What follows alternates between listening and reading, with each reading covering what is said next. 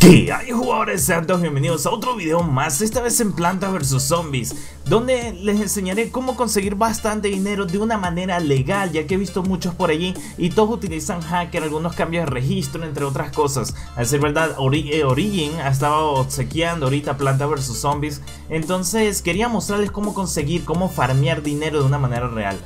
Entraremos en el minijuego en el que estás en la parte inferior a la izquierda, el último batallón estos se irán desbloqueando a medida que vayas avanzando la campaña. Entonces, las siguientes cosas que necesitarás eh, están en pantalla, así que procura tener todo esto antes de empezar. Muy bien, ya después de tener esto hay que colocar las maneras estratégicas. Estos hongos hay que colocar los cuatro hongos de esto, que esto va a ser nuestro punto clave de daño. Vamos a necesitar también algunos imanes eh, para poder quitarle los cascos a los enemigos. Las flores, este, ya saben que esto farmea los dineros, eh, un par de, cebollas para que nos puedan quitar eh, del camino a los zombies en nuestra línea de, de nuestras plantas de daño.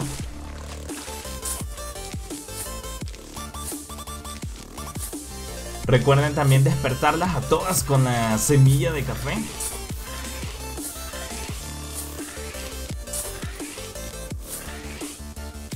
También tenemos que protegerlas con nuestro escudo de calabaza. Algunas de ellas no tenemos que protegerlas a todas. Así que está pendiente en el video cuáles son las que debes hacer.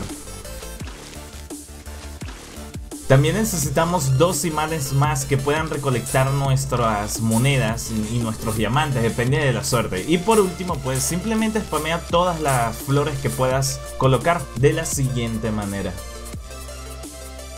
Si ya no cae más, también puedes colocar dentro del agua. Recuerda siempre colocar dos por ronda. Así que dale a comenzar y ya veremos qué pasa.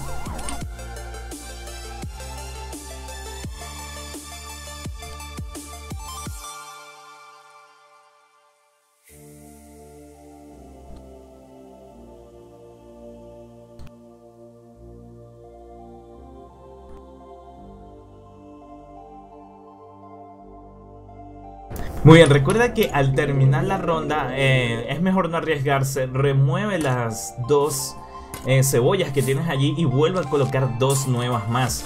Esto es para evitar que te las coman en un momento clave y pues pierdas digamos que algo más importante que la simple cebolla. Y vuelvo a comenzar otra vez la ronda.